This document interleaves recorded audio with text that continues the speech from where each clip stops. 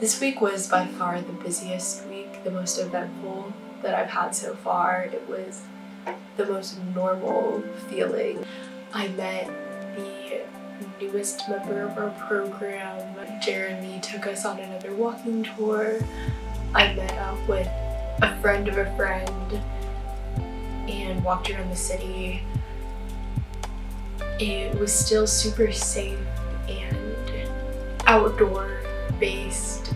Been incredible. It just adds a whole extra layer to what this experience is for me. Everything is always developing and changing and I think the ebb and flow of what I'm getting out of this at different times has been such an interesting factor to think about between being able to journal in the park to exploring with a couple of people, walking around Camden Market and grabbing food outside and going to places for sunset because I'm with other people when it's dark. I'm so glad to have had the experience of being on my own and spending about a month just exploring by myself and getting familiar with doing things on my own like that.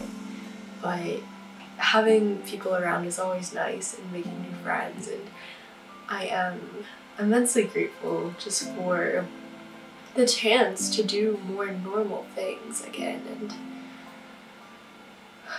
I don't know.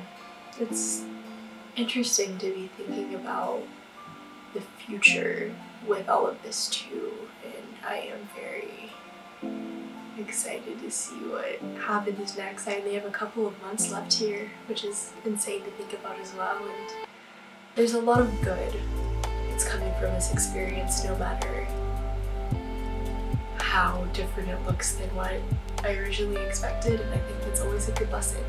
So yeah. but it was nice just to have that sort of sense of normalcy back a little bit.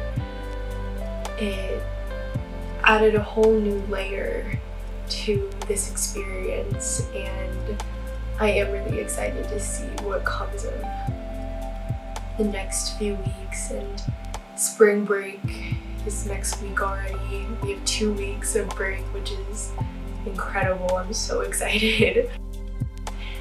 It was a very busy but enriching week for me.